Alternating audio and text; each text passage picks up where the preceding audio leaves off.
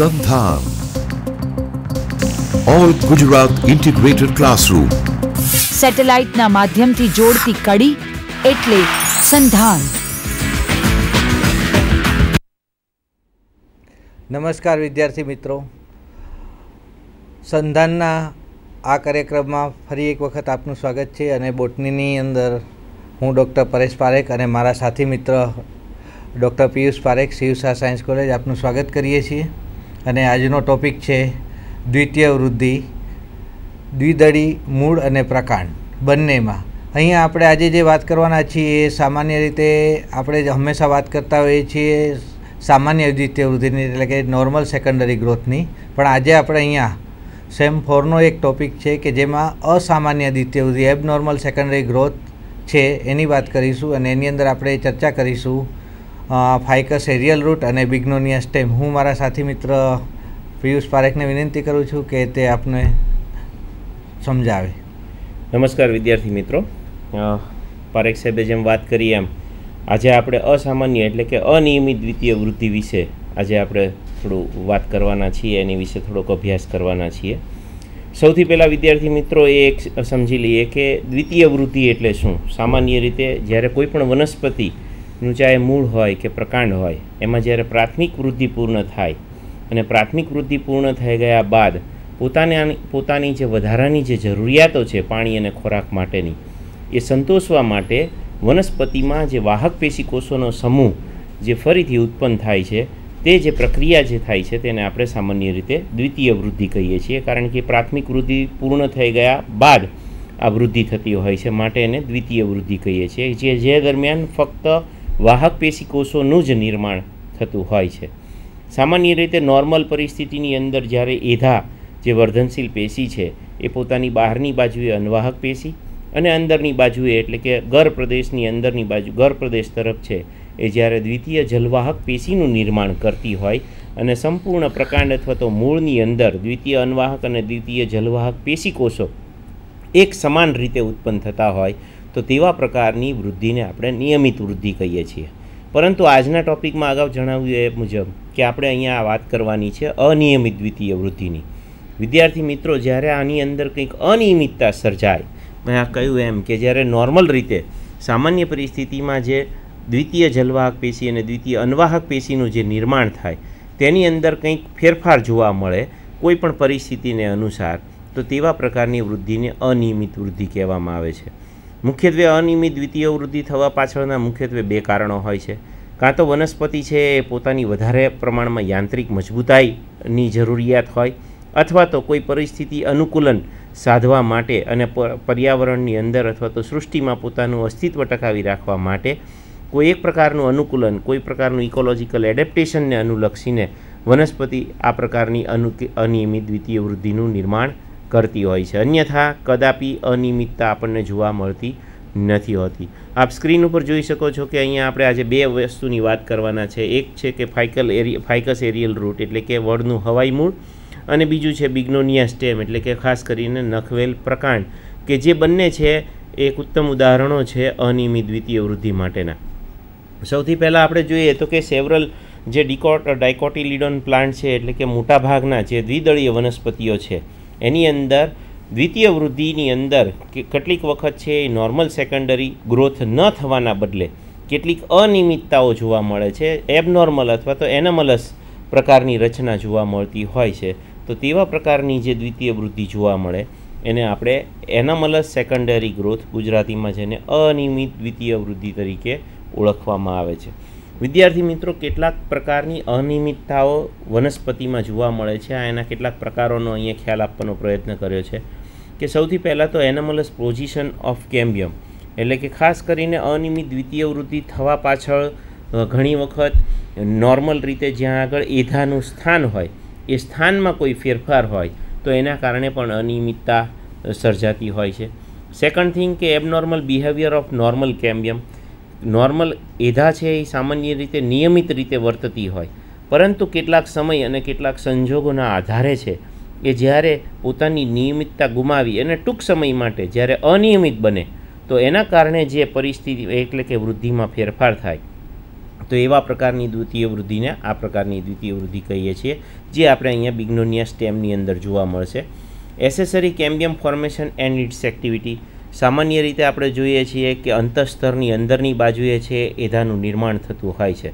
પરંતુ કેટલીક વખત કેટલીક વનસ્પતિઓમાં એવું જોવા મળે છે, એટલે કે રંભ બાહ્ય દ્વિતીય વૃદ્ધિ જેને પણ કહી શકાય, અથવા તો રંભની બહારની બાજુએ, એટલે કે જે મધ્ય રંભીય પ્રદેશ છે, અથવા તો અંતઃસ્તરની અંદરનો જે પાકપેશી કોષોનો જે સમૂહ છે, એ સિવાય બીજા કોઈ ભાગની અંદર જ્યારે એધાનું નિર્માણ થાય, અને ત્યાં આગળ જ્યારે દ્વિતીય વૃદ્ધિ થાય તો ચોક્કસપણે આપણે એને અનિયમિત દ્વિતીય વૃદ્ધિ કહી શકીએ.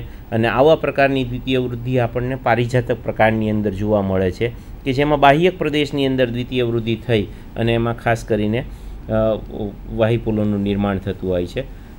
ત્યાર પછી તો કે extrastelar cambium extrastelar cambium એટલે કે ખાસ કરીને વધુ માત્રામાં એધાનું નિર્માણ થતું હોય છે. એટલે કે એના પ્રમાણે અને ઇન્ટરઝાઇલરી ફ્લોએમ એટલે કે આંતરદારૂ અન્વાહક જેને કહેવામાં આવે છે કે આ પ્રકારનું ખાસ કરીને આંતરદારૂ અન્વાહક છે એ મુખ્યત્વે છે એ કે જલવાહક પેશીકોષોનો જે સમૂહ હોય એની અંદર અન્વાહક પેશીકોષોનું નિર્માણ થતું હોય તો તેવા પ્રકારની જે વૃદ્ધિ છે એને આપણે ઇન્ટરઝાઇલરી ફ્લો એમ કહેવાય છે. ખાસ કરીને પીલુડી પ્રકાંડની અંદર છે વિદ્યાર્થી મિત્રો આપણને આ બહુ સહેલાઈથી જોવા મળે છે.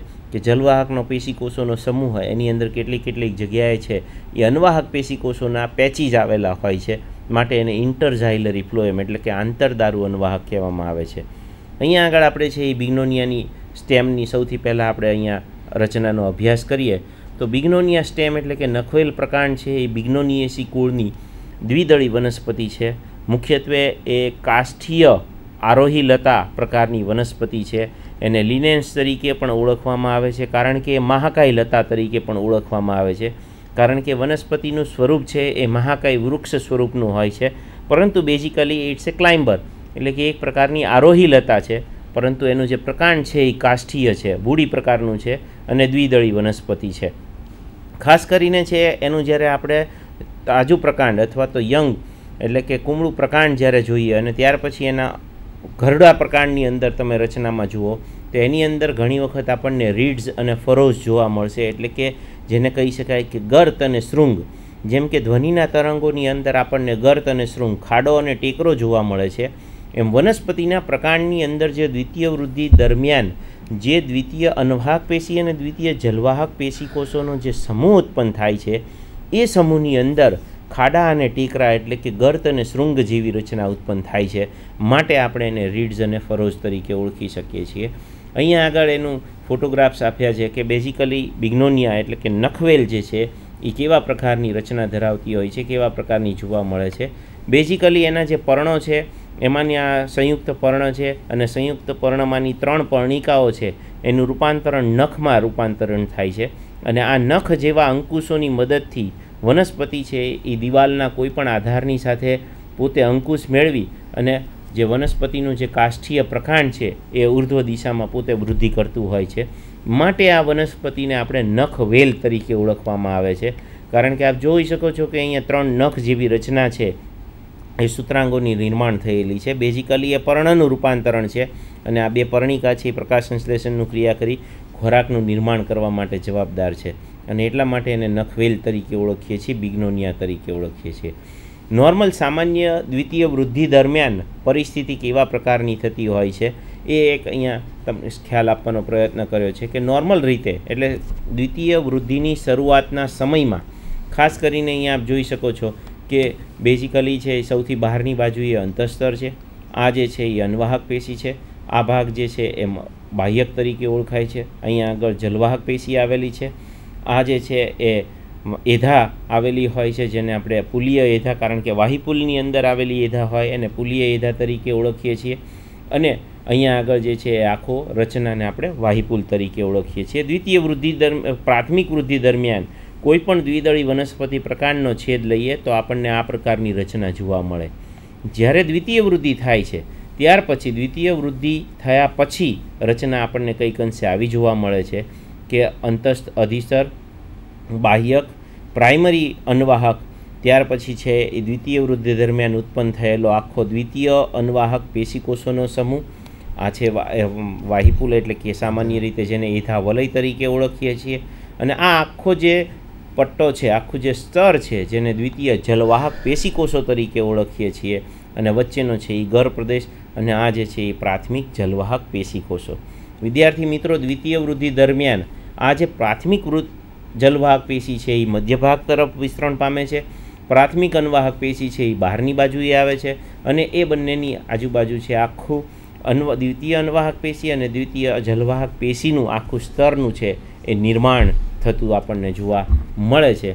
અને એનું મુખ્ય કારણ છે મૂળની વાહિપુલની અંદર જોવા મળતી પુલીય એધા અને દ્વિતીય વૃદ્ધિ દરમિયાન બે વાહિપુલોની વચ્ચે જોવા મળતી આંતરપુલીય એધાનું નિર્માણ થવાથી. આ પુલીય એધા અને આંતરપુલીય એધા ભેગા થઈ અને આખા એધાવલયનું નિર્માણ કરે છે અને જેના કારણે આખું એધાવલય બની અને અંદરની તરફ દ્વિતીય જલવાહક પેશી અને બહારની તરફ દ્વિતીય અનવાહક પેશીનું નિર્માણ સામાન્ય રીતે કરતી જોવા મળતી હોય છે.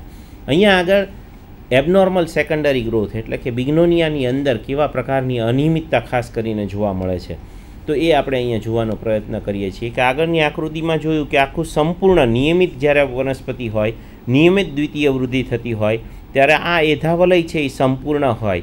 અને એધાવલયની નિયમિતતાના કારણે બહારની તરફ આખું સળંગ દ્વિતીય અનવાહક પેશીકોષોનો સમૂહનું સ્તર અને અંદરની તરફ આખું સંપૂર્ણ સળંગ દ્વિતીય જલવાહક પેશીકોષોનું સ્તર છે એ નિર્માણ પામતું હોય છે.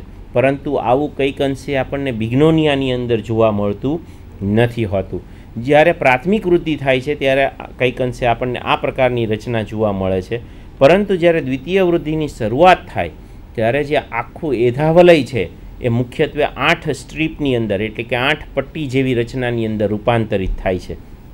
આઠ પટ્ટીઓ જે છે, એ આઠ એધાવલયની પટ્ટીઓમાંથી જે ચાર પટ્ટીઓ છે, કે જે એક પ્રકારે કાટખૂણે ગોઠવાયેલી જે પટ્ટીઓ તરીકે ઓળખાય છે, એ કાટખૂણે ગોઠવાયેલી એધાની જે પટ્ટીઓ છે, તે અનિયમિત રીતે છે, એ વર્તે છે.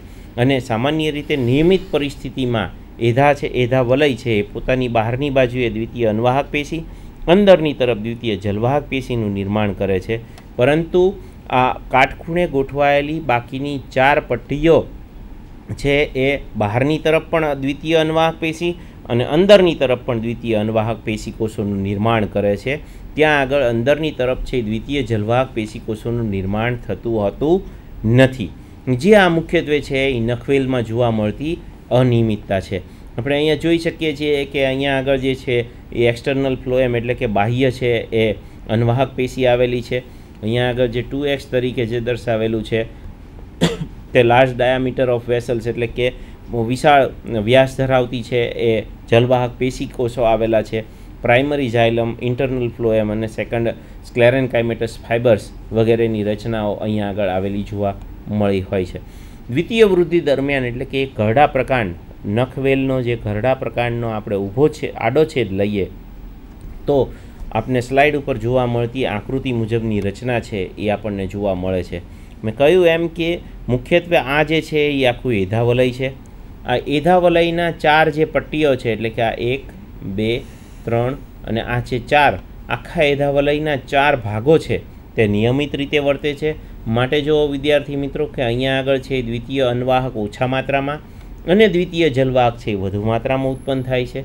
જ્યારે આ જે ચાર ભાગો છે કે જે પણ કાટખૂણે જ ગોઠવાયેલા છે, એ ચાર ભાગોમાં એધાવલયની આ જે ભાગો છે, એ અનિયમિત દ્વિતીય વર્તતા હોવાના પરિણામે બહારની બાજુએ દ્વિતીય અનવાહક તથા અંદરની બાજુએ દ્વિતીય જલવાહકની સાપેક્ષમાં દ્વિતીય અનવાહકનું નિર્માણ કરે છે.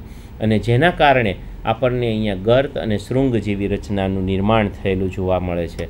કે આ જે છે એક પ્રકારના ખાડા જેવી રચના જોવા મળે છે, અહીંયા આગળ ટેકરા જેવી રચના જોવા મળે છે. માટે આને રીડ્સ તરીકે ઓળખી શકાય અને ફરોજ તરીકે ઓળખી શકાય, એટલે કે ગર્ત અને શૃંગ આ પ્રકારની. તો અહીંયા આગળ જેમ આપણે નિયમિત દ્વિતીય વૃદ્ધિ દરમિયાન જોયું એમ સળંગ આખું દ્વિતીય જલવાહક પેશીકોષોનો સમૂહ ઉત્પન્ન થતો હતો નથી. પરંતુ એમાં ચાર ખૂણે ચાર છે, એ એક ગર્ત પ્રકારની રચના એટલે કે ચાર ખાડાઓ જેવી રચનાઓ ઉત્પન્ન થાય છે અને જે સંપૂર્ણ ખાડાઓ છે, એ દ્વિતીય અન્વાહક પેશીકોષોના બનેલા જોવા મળતા હોય છે. આ એક જે એનો રિયલ ફોટોગ્રાફ છે, એ અહીંયા દર્શાવવાનો પ્રયત્ન કર્યો છે કે આ જે છે, એ આખી દ્વિતીય જલવાહક પેશીકોષો છે અને અહીંયા આગળ તમે જોઈ શકો છો કે આ જે ખાડા જેવી રચના છે, તેમાં આટલો ભાગ જે એધાવલયનો જે છે તે અનિયમિત રીતે વર્તે છે અને પરિણામે બહારની બાજુએ અને અંદરની બાજુએ બંને તરફ છે એ દ્વિતીય અન્વાહક પેશીકોષોનું નિર્માણ કરે છે અને જેના કારણે આ પ્રકારની રચના ઉત્પન્ન થાય છે કે અહીંયા આગળ એકચ્યુઅલી દ્વિતીય જલવાહક પેશીનું નિર્માણ થવું જોઈએ તેના બદલે અહીંયા આગળ દ્વિતીય અન્વાહક પેશીકોષોનું નિર્માણ થતું જોવા મળે છે. આપણે અહીંયા વધારે સારી રીતે જોઈ શકો છો. હવે આ જે દ્વિતીય અન્વાહક પેશીકોષોનો આખો જે એક નળાકાર રચના ઉત્પન્ન થાય છે દિલ, દ્વિતીય જલવાહક પેશીકોષોની સાથે. તેમાં થોડા થોડા સમયે એધાવલયના જે કોષો છે, એ થોડાક સમય માટે છે, એ નિયમિત રીતે વર્તે છે. નિયમિત રીતે જ્યારે વર્તે, ત્યારે થોડા સમય માટે થોડા દ્વિતીય જલવાહક પેશીકોષોનું પણ નિર્માણ કરે છે.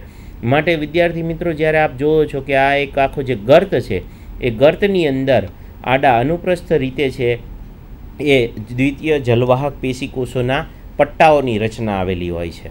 અહીંયા આપ જોઈ શકો છો કે આ આખો જે છે એ ફ્લોએમ વેડજી છે, એટલે કે ફ્લોએમનો આખો જે ખાંચો છે, એ ખાંચાની અંદર છે એ આ દ્વિતીય જલવાહક પેશીકોષોના પટ્ટાઓની રચનાઓ આવેલી હોય છે. જેના કારણે આ બંને બાજુની જે સપાટી છે ખાડાની, એ બંનેને એક રીતે એકજૂટ રાખવા માટે આ ખાસ કરીને દ્વિતીય જલવાહક પેશીકોષોના સમૂહ છે એ મદદરૂપ થતા હોય છે. આવું થવા પાછળનું કારણ શું? કારણ કે આપ જાણો છો કે આ આખો જે સમૂહ છે, એ દ્વિતીય જલવાહક પેશી કોષોનો સમૂહ છે. દ્વિતીય જલવાહક પેશી બેઝિકલી એ નિર્જીવ પેશી છે. ખાસ કરીને એમાં લિગ્નિનનું સ્થૂલન થયેલું હોય છે અને એક પ્રકારની મજબૂત પેશી રચના ધરાવતી પેશી છે. તો દ્વિતીય જલવાહક પેશીના કારણે આ જે દ્વિતીય અન્વાહક પેશીકોષોનો જે નળાકાર ઉત્પન્ન થયો છે, જલવાહક પેશીની અંદર, એ એના દબાણના કારણે છે. એ કચડાઈ ન જાય અને એ નષ્ટ ન થાય એટલા માટે અહીંયા આગળ છે એ આ દ્વિતીય જલવાહક પેશીકોષોના પટ્ટાઓનું નિર્માણ થાય છે વચ્ચે વચ્ચે, કે જેથી કરીને આ ગર્ત છે એ પોતાની સંપૂર્ણ રચનામાં એમને એમ રહી શકે અને પોતાનું અસ્તિત્વ ટકાવી શકે. તો આપ જોઈ શકો છો કે જ્યારે દ્વિતીય વૃદ્ધ